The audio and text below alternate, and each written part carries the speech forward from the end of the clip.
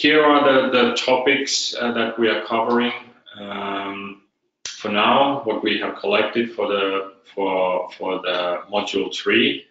Uh, so this is a, a version 2.5. We actually made uh, some iterations on the material just leading into this webinar for some some updates, but mainly we try to focus on content that is uh, very much the kind of the very basic and core knowledge about building startups and ventures. So it also more kind of uh, time bound. So it's not so dependent on on uh, what is the latest and the, and the greatest uh, because they, they are more in the details of how these are applied and, and uh, some uh, other methods. So these are mainly focusing on those time tested and most common practices and also putting them into context of, of how they apply uh, or how they may overlap and how to use different concepts uh, together.